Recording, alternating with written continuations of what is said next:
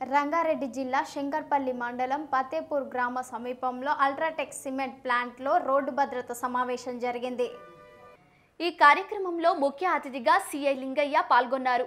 ఈ సమావేశం డ్రైవర్లు ఉద్యోగులు కార్మికుల మధ్య జరిగింది. లింగయ్య మాట్లాడుతూ ప్లాంటుకు వచ్చే వాహనదారులు అందరూ హెల్మెట్ ధరించాలని మద్యం సేవించి వాహనాలు నడపకూడదని ఆయన తెలిపారు.